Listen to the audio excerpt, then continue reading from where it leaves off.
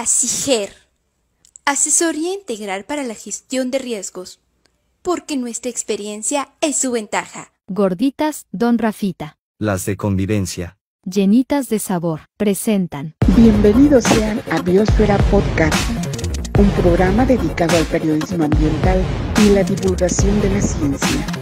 Noticias, reportajes, entrevistas y algo más.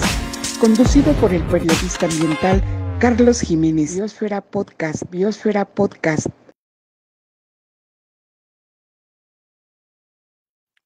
¿Qué tal? Muy buenas tardes. Es un gusto saludarlos esta tarde de miércoles 18 de octubre del año 2023. Es tiempo de hablar de naturaleza, es tiempo de periodismo ambiental y es tiempo de hablar de la situación que están viviendo las tortugas marinas en el litoral del Pacífico chiapaneco. Así que los invito a que no se despeguen en los próximos minutos de sus pantallas, de sus móviles, sus celulares, su laptop, donde quiera que se encuentren y hasta donde quiera que llegue esta señal. Si nos están escuchando allá en el norte de África, pues saludos a todos los amigos buenas que nos están viendo por allá y nuestros abrazos y condolencias a todas las personas que lamentablemente están siendo víctimas de esta atrocidad que es la guerra en todos los rincones del planeta. Entonces, esto es Biosfera Podcast y vamos a dar inicio con un reportaje que realizamos eh, dentro del proyecto integral de periodismo ambiental Biosfera 10, precisamente hablando de la situación que vive la tortuga marina en el estado de Chiapas. Vamos a verlo.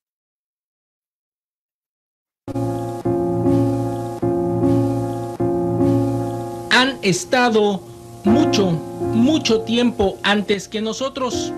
Han sobrevivido a todo tipo de desastres, de cambios climáticos, de hundimientos y hecatombes, y aún continúan aquí. Con su mirada triste, pareciera que los años les pesaran con la sabiduría de la experiencia y la paciencia que los mismos años dan. Pero hoy, Hoy las cosas han cambiado y su permanencia sobre la faz de la Tierra se encuentra amenazada y no por sus depredadores naturales, sino por el único que extermina por el placer de hacerlo. Está amenazada seriamente por el hombre. Perseguida por su concha y sus huevos, las tortugas marinas cada vez suman menos. Cada vez su ciclo reproductivo es interrumpido y cada vez más es víctima de la indiferencia. En playas chiapanecas ya no es raro observar sobre la arena cadáveres de estos quelonios con el caparazón separado brutalmente y el vientre abierto en canal, solo por extraerle sus huevos y lucrar con ellos. Hasta hace unos años, cierto es que el comercio de huevo de tortuga era cosa común en mercados de nuestro país.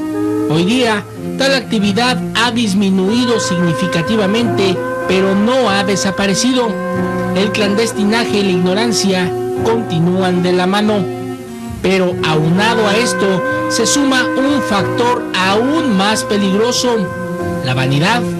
En aras de modas estúpidas y tendencias comerciales, y es así que el carey, material extraído de la concha de la tortuga, es utilizado para todo tipo de artículos de belleza.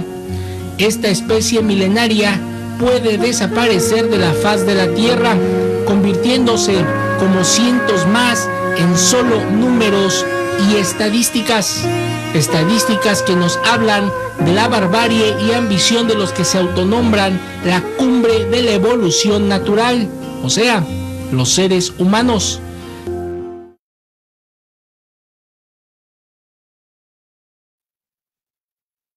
Así están las cosas. Este reportaje lo hicimos hace ya algún, algún tiempo y las cosas no han cambiado. No han cambiado para mejorar para, la, para las tres especies que llegan al estado de Chiapas a anidar.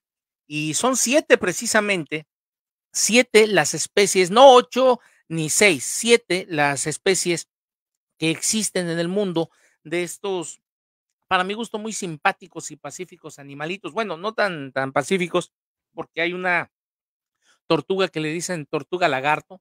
Ya, cómo es agresiva, casi me, me vuela un dedo. Pero bueno, ¿por qué están en peligro las tortugas marinas? De las siete especies de tortugas marinas que hay en el mundo, que casi todas están clasificadas como en peligro de extinción, se debe principalmente a las actividades del ser humano. La captura accidental en las artes de pesca que a menudo resultan en su muerte es la mayor amenaza para la mayoría de las tortugas marinas. También las matan por sus huevos, las matan por su carne, por su piel y su caparazón y son víctimas de la caza y la sobreexplotación. Además, el cambio climático, ese fenómeno que tan de moda está, que espero no sea una moda y que llegue a lo más hondo de las conciencias de todos y cada uno de nosotros. Este fenómeno afecta a las playas de anidación de las tortugas marinas, así como a los huevos eh, hay organizaciones que están ayudando a, a desarrollar medios de vida alternativos para que las poblaciones locales ya no dependan de los productos relacionados de tortuga para obtener ingresos y para que apoyen las actividades de patrullaje locales en las playas de anidación. Y para ello, para conocer un poco acerca de lo que se está haciendo a favor de la tortuga marina, eh, yo quiero presentarles a un experto, eh, tuve el gusto de platicar con el biólogo Roberto Flores Ramos. Él es coordinador de la Dirección de Áreas Naturales y Vida Silvestre de la SEMAN. Hace algunos días charlamos eh, en una entrevista que tuvimos para radio, en Biosfera Radio Explora tu Mundo, que transmitimos, les recuerdo, aprovecho el comercial, todos los jueves en punto de las 3 de la tarde. Biólogo Roberto, ¿cómo estás? Muy buenas tardes. Bienvenido a este espacio. Muy buenas tardes, Carlos. Gracias por la invitación nuevamente y más que nada agradecer a todos eh, aquí y a todos los que nos siguen y siguen su, programa de radio y este podcast para poder este, difundir este, información correcta referente a las tortugas marinas aquí en el estado y obviamente en el país. Muy bien, qué bueno que mencionas este término sobre información correcta, ya que lamentablemente em, estas herramientas que hay ahora donde la información eh, llega de manera vertiginosa, rápida y a veces nos satura, por no decir todas las veces, eh, hace que incurramos muchos en el sensacionalismo y dejarnos llevar por lo primero que leemos sin verificar de una fuente oficial, sin verificar con gente, con expertos que están al tanto de, de, la situación que vive la tortuga marina, particularmente en el estado de Chiapas. La pregunta es esa, ¿Qué pasa con las tortugas marinas en Chiapas? ¿Están en peligro de extinción todas? Eh, de acuerdo a la norma oficial mexicana, que es la norma 059, donde vienen especies tanto de fauna como de flora, las cataloga como todas como en peligro de extinción. Este, esto es para, para todo el país, no solo para Chiapas. Entonces, este, Recordemos que esta norma pues se basa este, básicamente en, en, los, en los estudios que se realizan este, por investigadores académicos este, en coordinación con, en este caso con campamentos tortugueros, con voluntarios, para poder este, tener una eh, información suficiente y poder este, tener una, una categorización de cada una de estas especies que aparecen en esta norma. Este, me platicabas eh, que en Chiapas llegan a anidar tres especies de tortugas, ¿es correcto esto? Sí, es correcto. En el estado este, se distribuyen cuatro, tres son las que anidan aquí en la, costa de Chiapas. En primer lugar, y la que llega en un mayor número, es la tortuga golfina, le sigue lo que es la, tortuga prieta. En tercer lugar está la tortuga laúd, que es la de mayor tamaño eh, de estas siete especies que hay en el mundo. Y la tortuga carey no desova, solamente utiliza lo que es la costa del litoral e inclusive llega a entrar a los esteros para poder alimentarse en una etapa juvenil.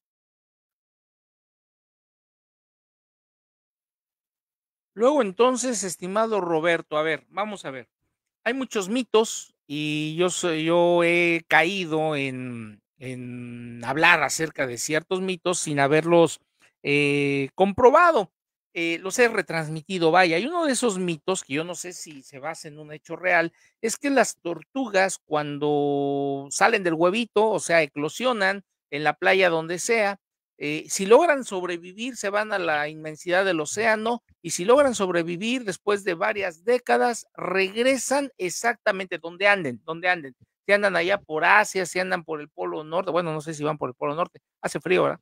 Eh, pero si andan por, por donde anden, regresan a la playa donde nacieron. ¿Es cierto esto o es solo un mito? Es correcto, este, las tortugas hembras, en este caso, regresan a la playa donde vieron la luz por, por primera vez, que es prácticamente donde nace. Y esto es básicamente porque este, recordemos que las playas eh, en todo el mundo pues tienen minerales y dentro de estos minerales pues, hay magnetita, la cual este, le ayuda a la tortuga a poder este, ubicarse de forma espacial. Recordemos que las tortugas se ubican por los campos magnéticos que tiene la Tierra.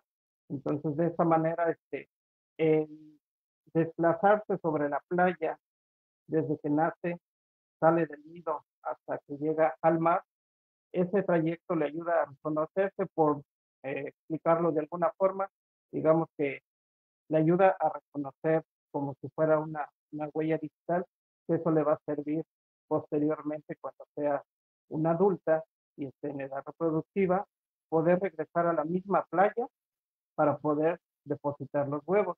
Y esto es muy importante porque, este, pues si nosotros acabamos con estas tortugas, este, lo que sucede es que se puede declarar como una playa extinta. Desafortunadamente, estos casos sí han sucedido en otras partes de México que se han declarado playas extintas, es decir, que ya no llega ninguna tortuga a entrar en hogar por esta misma razón. Qué este, barbaridad.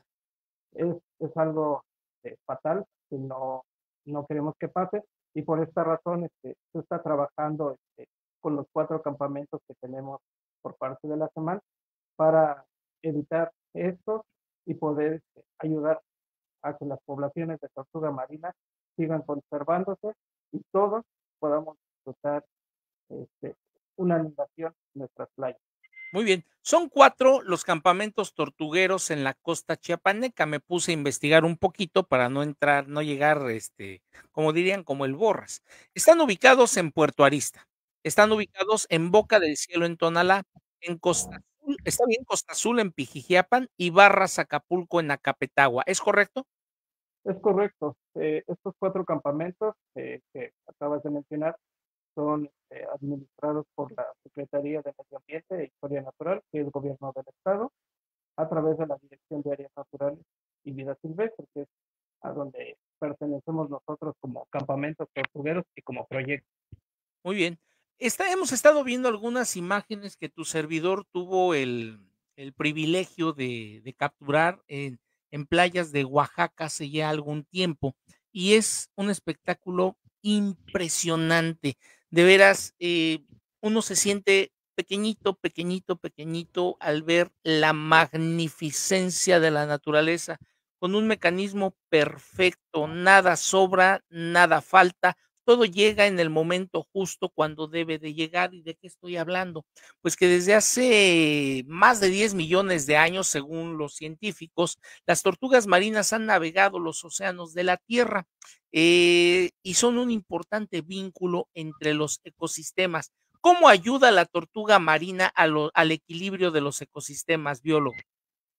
Sí, claro. Este, eh, la tortuga marina ayuda desde diferentes puntos. Eh, recordemos que las tortugas marinas pues se alimentan algunas de otros animales como son medusas, peces, crustáceos, pero también se alimentan de lo que se conoce comúnmente como pastos marinos. Estas tortugas al, tener una dieta variada, lo que hacen es mantener en, eh, en control estas poblaciones de las especies que se alimentan, evitando que que pueda tener un desequilibrio el ecosistema marino. De igual forma, para el caso del ecosistema terrestre, que en este caso serían las playas, les ayuda porque al salir la tortuga hembra de hogar, al rascar para poder depositar sus huevos y al regresar, lo que realiza es un intercambio de minerales entre la parte acuática y la parte terrestre.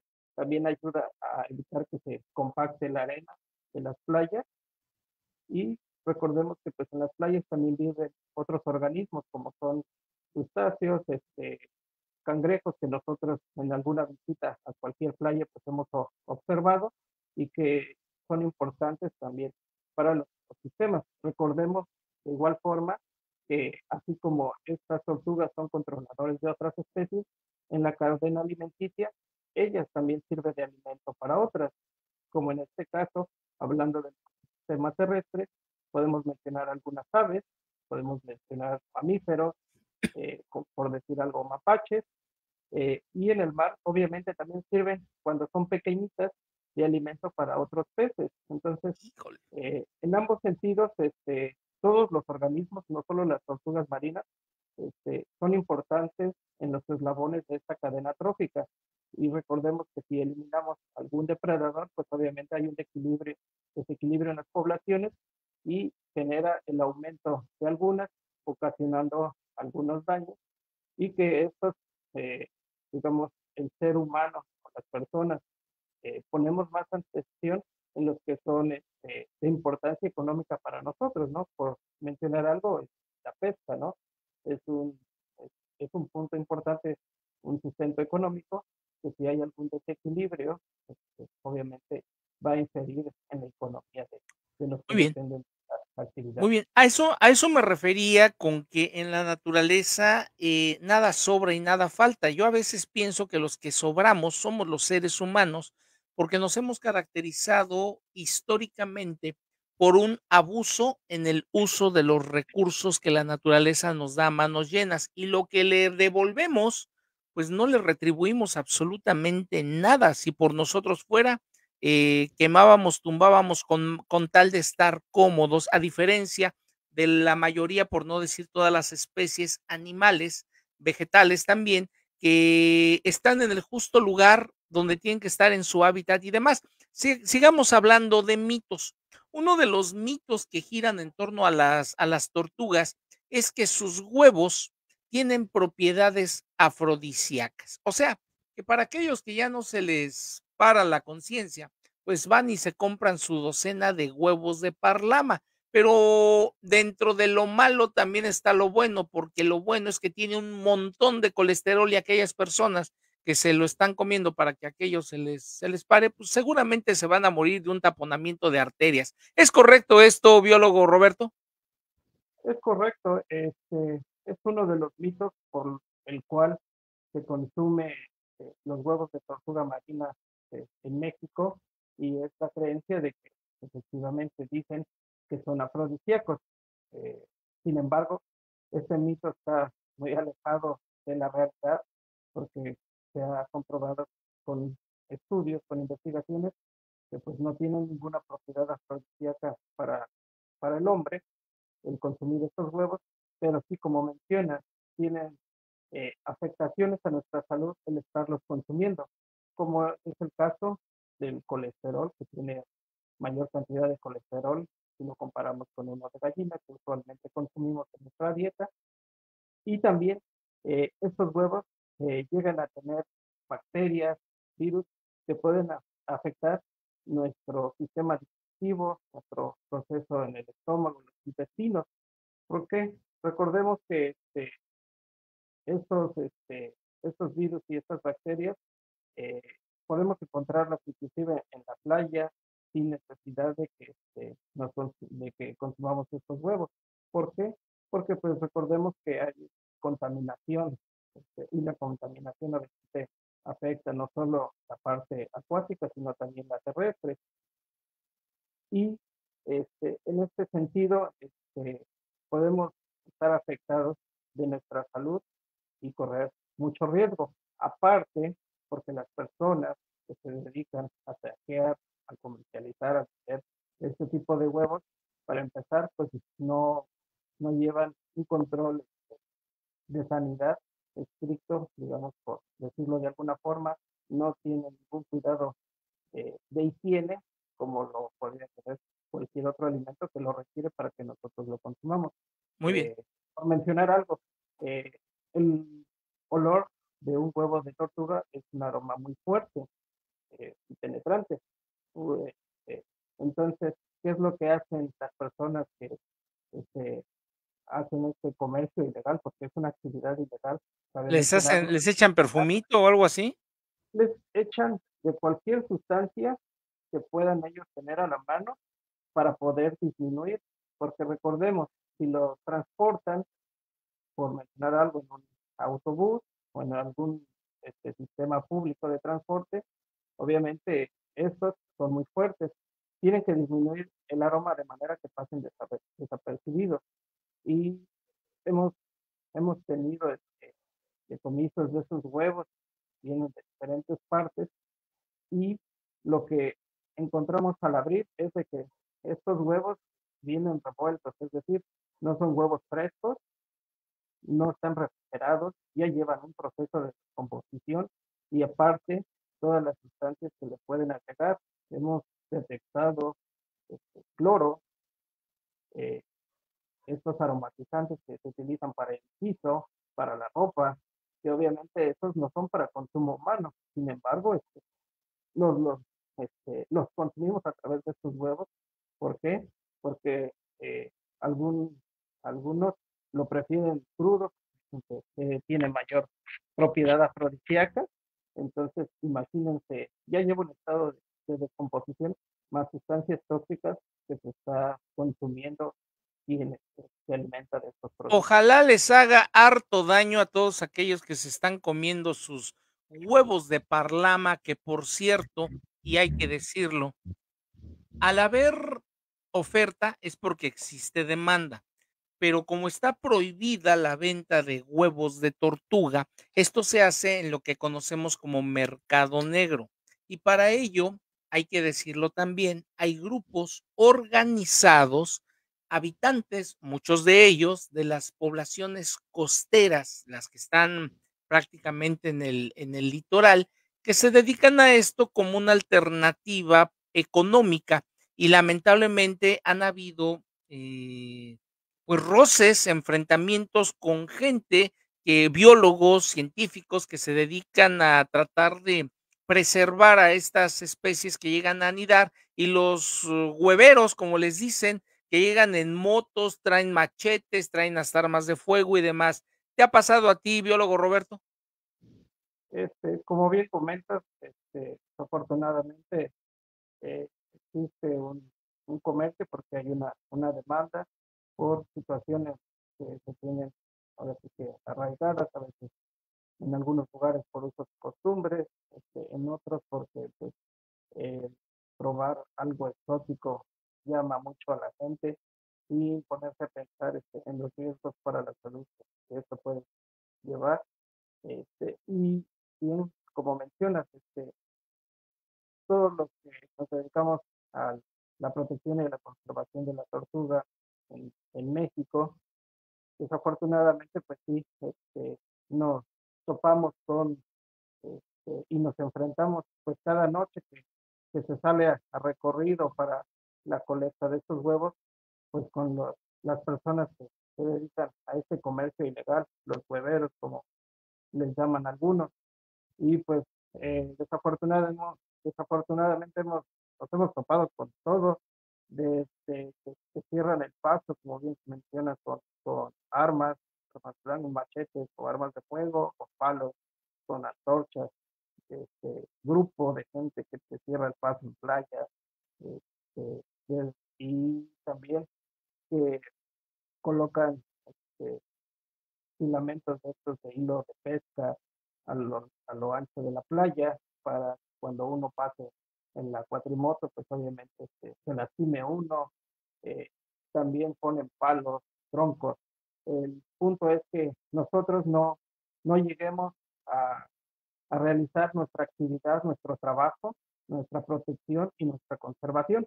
Sin embargo, afortunadamente, esperemos que, no, no pase este, con alguno de nosotros ni con cualquier otra persona que se dedique a protección y conservación de la naturaleza en general, este, que nos toque un, un desenlace desafortunado. Hemos sí tenido varios amargos sabores en boca, pero afortunadamente pues todavía seguimos aquí haciendo esta labor, esta noble labor, que es una labor para todos al final de cuentas. Claro, No nos beneficiemos nosotros nada más, sino es un beneficio para la población en pues, para general. todos, porque al final de es. cuentas, pues, cumplen un papel muy importante las tortugas, también las ninja que nos están por cierto, un saludo a todas las tortugas que nos estén sintonizando en este momento, donde quiera que se encuentren, son 7 especies, ya me lo tuve que aprender, y 4, no son 3, son 4, ¿verdad? Las que llegan al a Chiapas, pero una es así Sí. como que antisocial, se parece a mí, es la tortuga, ¿cómo me dijiste? La tortuga carey, Carey. juvenil, No, no, no, pero hay una que se aparta, que esa no desova. es la carey, Ah, la carey. la carey, Ah, es correcto. es bien antisocial. Me la voy a traer para el programa. Oye, hace rato me platicabas que, eh, ustedes han decomisado de alguna manera con las autoridades, eh, cargamentos o camionetas que llevan los huevos de tortuga y que les aplican un montón de químicos y demás. ¿Esos huevos, eh, pueden, eclosionar? ¿Pueden nacer las tortuguitas de nuevo? En algunos casos sí, mucho va a depender de el tiempo que llevan desde que fueron saqueados. Este, obviamente, si vienen estos huevos, por decir algo, de un estado de Oaxaca, pues, este, es prácticamente pues, que 100% seguro que no va a eclosionar ninguna cría, pero hemos tenido algunos casos de éxito que aunque nazca una cría, con eso creo que vale mucho la pena el esfuerzo que se hace para poder este, rescatar a, a estas poblaciones. Entonces, efectivamente nosotros hacemos estos, este, estos recorridos de distancia con instituciones de seguridad que tienen la competencia y la atribución para realizar este, este tipo de actividades y presentar ante la autoridad competente y adecuada, obviamente a las personas que son capturadas en flagrancia con este tipo de actos ilícitos, como es el caso de la Fiscalía, me acompaña la Guardia Nacional, Marina, este, Secretaría de Seguridad y Protección Ciudadana, Policía Municipal, con todos ellos nos coordinamos con otras instituciones, este, como en este caso nuestra homóloga que sería de la Federación, CONAM, para poder realizar en conjunto y entre todos, sumando esfuerzos y, este, y recursos para poder este, realizar esta protección a las tortugas marinas. Muy bien. Eh, tenemos comentarios, tenemos saludos eh, de nuestro público que nos está sintonizando. Ángeles Ledesma, saludos y bendiciones. Muchísimas gracias, Ángeles Ledesma, desde Tuxtla Gutiérrez, Chiapas. Ahí estoy yo, mira, ahí estoy yo, este, en alguna ocasión en Puerto Arista, eh, liberando tortuguitas. Te, te conté la anécdota, ¿no? Yo bien contento, voy a liberar tortuguitas. Nos dijeron, ¿sabes qué? Las liberaciones se hacen en la noche porque hay muchos depredadores. No, no, no, vamos a liberarlas, que no sé ya iban, me- vamos con las tortuguitas y todo. Y yo bien contento, ahí la llevamos, hasta la empujaba para que se fuera al mar y de repente, ahí va la tortuguita, llega al agua, cuando llega una gaviota, mi hermano. La agarro y yo, ¡ah! Mi tortuga, y, y se, se llevó a mi tortuga, pero es parte del ciclo natural. Eh, y yo creo que cuando estos cargamentos que ustedes eh, logran asegurar junto con las autoridades, eh, cuando nacen las tortuguitas, las que llegan a nacer, pues han de nacer bien limpias y perfumadas, ¿no? Por tanta cosa que le hacen. Oye, pero una pregunta, eh, ¿cuánto cuesta o en cuánto se cotiza una docena de huevos de tortuga en el mercado negro? Pues eh, el precio que tiene una docena, pues eh, depende de si es a inicios o finales de la temporada, o está, digamos, como que cuando hay mayor número de tortugas, pero pues llega a costar entre unos 60, 70 pesos, 150. Y también mucho va a depender, así que como quiero pensar como vean al cliente, como dicen, que de acuerdo a pues, la pedrada, pero este, bueno, sí que este, pues puede tener diferentes precios a lo largo del año. Y si me permites, igual este, cabe resaltar, este, como bien mencionas, la, la anécdota que se pasó con el ave, pues sí, es, es parte de este ciclo natural, ¿no? Eh, y recordemos también que a partir de la década de los 90 hay una veda total para el consumo, comercio, transporte de huevos, de carne, de productos, productos de tortuga marina. También es bueno señalar que, este, que a partir del 2012 hay una norma oficial que dice las actividades, cómo se deben de realizar, en este caso los campamentos tortugueros en México, y también nos menciona que este, esta norma que a partir de su entrada en vigor, que queda estrictamente prohibido entregar tortugas o que la gente maneje estas, estas crías de tortugas. Anteriormente, como bien mencionas, sí se, tenía esta, esta, práctica de que en las liberaciones le entregaba una tortuga a, a, las personas, pero desafortunadamente este, por varios puntos este, se prohibió, porque está prohibido solamente el personal de los campamentos tiene la autorización para realizar este, esta actividad y este tipo de manejo y tocar a las tortugas. Recordemos que este, anteriormente, como mencionaba, las liberaciones pues, se hacían al público y, podían tocarlas. Pero recordemos que como visitantes, pues llevamos en las manos gel o repelente, eh, bloqueadores, cremas, y todo esto puede afectar a la tortuga, por un lado. Pero por otro lado también, desafortunadamente, pasaba en algunos puntos de nuestro país que algunas personas, pues como la ven pequeña a la cría de tortuga, se ve muy bonita, este, pues querían no solo tener la foto de recuerdo, sino también al ejemplar. Entonces a veces pues se lo llevaban y pues aparecían tortugas en otros estados donde pues no hay más. Entonces eh, esa práctica también este, no, es, no era correcta y por eso a partir de que entra en vigor esta norma oficial, la, la 162, obviamente este, ya las liberaciones son únicamente simbólicas. ¿Qué quiere decir con esto? Que no se les entrega tortugas en la mano a los asistentes, solamente se, se colocan en la arena, ellas empiezan a caminar hacia el mar y la gente atrás de esto, así como ponemos una línea de manera que la gente no pase donde están ellas y puedan observar y puedan tomar fotos, pero sin flash. Recordemos que el flash puede desorientar a las crías en su camino hacia, la, hacia el mar. Entonces es importante también señalar. Y ahorita observando las, las imágenes que nos compartes a todos, también es importante mencionar, porque también este, lo pueden pensar, que por qué en Oaxaca este, se ven muchas tortugas y si vienen a Chiapas pueden encontrar menos. No quiere decir que, que en Oaxaca este, estén haciendo un mejor trabajo en otras playas que en Chiapas o en otros estados, sino simplemente cabe señalar que en el caso de Chiapas, de Oaxaca, perdón, como puede ser este, Mazunte, llega la tortuga golfina, que es la que observamos en estas imágenes, en un fenómeno que se llama arribazón, es decir, que en una sola noche pueden salir mil tortugas a la vez a desovar, por eso podemos observar, o en el día, inclusive como este, se observa en estas imágenes, a desovar.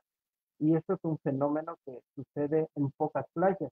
En la mayoría de las playas, como es el caso de Chiapas, la tortuga sale en solitario, es decir, que solamente sale una por una y no sale de, un gran número en una sola ocasión a desovar. Por eso podemos este, ver estas estas imágenes este, que sí son muy, muy bonitas y muy gratificantes y porque en Chiapas solamente podemos observar de una en una cuando salen a probar. Muy bien. Pues ahí están los apuntes del biólogo Roberto Flores Ramos, él es coordinador de la Dirección de Áreas Naturales y Vida Silvestre de la SEMAN. Rápidamente, eh, quiero saludar al doctor Neim Farrera Vázquez, que nos está viendo Ángeles Ledesma nos dice, excelente tema. Muchísimas gracias, Ángeles, por tus comentarios. Y Dulce María Hernández de Tapachula nos dice, yo conozco a muchas personas que nada más están esperando a que salgan las tortugas para inmediatamente ir a saquear los huevos, van armados. Pues así están las cosas, ¿sí? Es una triste realidad. Estamos llegando a la recta final de esta emisión, estimado biólogo Roberto Flores Ramos. Apuntes finales, algo más que desees agregar. sí, este, agregar y eh, para que si alguien visita alguna de las playas aquí dentro del estado, en este caso de Puerto Arista, Boca del Cielo, que son puntos importantes este, turísticos y que a la vez son sitios importantes de anidación de tortuga, es que si observan alguna tortuga que sale a desovar, que no la molesten, que no la alumbren con alguna lámpara, ya sea de mano, de cabeza o con la misma lámpara que tiene el celular. ¿Por qué? Porque con esta luz lo que podemos ocasionar es que la tortuga ya no desove, se regrese hacia el mar y se interrumpe este, este proceso. Entonces, lo que hay que hacer es no molestar, no alumbrar y obviamente pues avisar al campamento tortuguero para que el personal con el conocimiento y calificado pueda llegar a conectar el nido, trasladarlo al campamento, depositarlo en el corral de incubación para que tenga éxito y se puedan liberar posteriormente esas crías. También otra recomendación es que depositemos eh, nuestros desechos en el lugar que corresponde, plásticos, todos los desechos sólidos que nosotros generemos en nuestra visita a la playa, pues este, los depositemos donde es o nos los llevemos de regreso este, a nuestro hogar. Eh, y, recordemos que esta parte de, de, la disposición de los desechos, pues no solamente es en nuestra visita en la playa, sino también en nuestras casas o los diferentes puntos que nosotros visitemos. Recordemos que si nosotros hablamos, por ejemplo, de Tuxtla como de otras ciudades este, que tienen algún río, si nosotros tiramos nuestra basura, ¿qué sucede en la calle? Cuando llueve, la, la, se la lleva la corriente y se la llevan a, los cuerpos de agua. Este sí, así es, así es. Ríos. Todos estos cuerpos de agua desembocan en lo que son los mares. Entonces, al final de cuentas, este, si nosotros tiramos nuestra basura en la calle, pues obviamente estamos afectando otra región que tal vez este, nosotros solamente lleguemos a visita, este, pero de igual forma se afectan las diferentes especies de fauna y flora que ahí viven. Y recordemos también que nosotros consumimos peces, Muy bien. mariscos, productos de claro. Muy bien. Muchísimas gracias, biólogo, biólogo Roberto, Roberto Flores. Eh, yo te agradezco mucho, Flores Ramos, coordinador de la Dirección de Áreas Naturales y Vida Silvestre de la Secretaría del Medio Ambiente e Historia Natural. Muy puntuales las recomendaciones, a final de cuentas son causas y son efectos, leyes no escritas, afortunadamente por los humanos, que se cumplen cabalmente en la naturaleza y que tarde o temprano lo que nosotros sembramos, vamos a cosecharlo y esto que conocemos como cambio climático son efectos de causas que quizás hace muchos, muchos, muchos, muchas decenas de años sembramos los mismos humanos. Te agradezco mucho tu amabilidad, te agradezco mucho tu disponibilidad y espero que esta fue la primera vez en Biosfera Podcast, la vez pasada en Biosfera Radio, que no sea la última, estimado biólogo. Este es un espacio para todos ustedes, para que comuniquen, para que nos ayuden a divulgar un poquito acerca de esta información que sin duda es interesante y nos es de mucha utilidad. Muchísimas gracias. No, de nada, al contrario, gracias a ti por, por el tiempo y el espacio y como bien mencionas, que no sea la primera y la última vez, porque hay mucha información que podemos hablar este, referente a la tortuga y pues esperemos contar con, tu invitación en, una próxima ocasión. Muchas gracias a todos. al contrario. Muy bien, muchísimas gracias. Ha sido el biólogo Roberto Flores Ramos, eh, coordinador de la Dirección de Áreas Naturales y Vida Silvestre. Ya no le preguntamos sus redes sociales, pero eh, búsquenlo, así me imagino, biólogo Roberto Flores Ramos, ahí en Facebook, este, para que si tienen alguna pregunta, pues le, se la formulen. Eh, si tienen que ver con tortugas o demás, él es coordinador de la Dirección de Áreas Naturales y Vida Silvestre de la semana. Esta señal se genera desde la capital del estado de Chiapas, la ciudad de Tuxtla Gutiérrez, para donde quiera que tengan internet. Si los pingüinos en el Polo Norte tienen internet, saludos en pingüino a todos ellos, también a los osos polares, pero los osos polares están del otro lado, están ahí en el Polo Norte. Bueno, a todos ustedes muchísimas gracias. Eh, yo los espero el próximo miércoles miércoles, como hoy es una costumbre. Ya tenemos casi año y medio, si no es que un poquito más, con esta, este componente del proyecto integral de periodismo ambiental Biosfera 10, Biosfera Podcast, que ahora pues transmitimos, como su nombre lo indica, en redes sociales con esta maravilla tecnológica que es la Internet y estos espacios que de alguna u otra manera pues han masificado, han democratizado la participación de todos los humanos. La mayoría pues eh, lo encaminan hacia el entretenimiento, que no está mal, pero también estos espacios en lo personal creo que son muy útiles para eh, divulgar un poquito acerca de este tipo de información que los expertos, los biólogos, los científicos, los doctores, los investigadores, pues eh, es el fruto de su trabajo y puede ayudar de alguna manera a modificar de manera positiva las actitudes que tenemos los humanos para con nuestro entorno natural. Y antes de despedir esta transmisión, como ya también es una costumbre, les comparto la siguiente reflexión esta máxima que nos dejan estos pensamientos la extinta tribu norteamericana de los indios Creek y que para mi muy particular punto de vista, muy ácido, el humor negro, eh, debería de convertirse en un irónico epitafio de lo que ha sido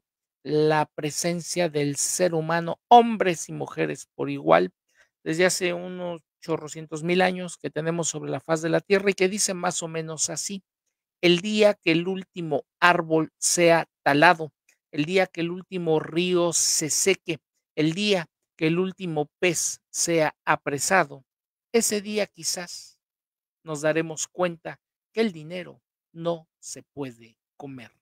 Nos dejaba como reflexión la tribu norteamericana de los indios Creek. Y antes de que nos caiga el meteorito, nos vemos el próximo jueves si no pasa otra cosa. Mi nombre es Carlos Jiménez. Así que vámonos. ASIGER.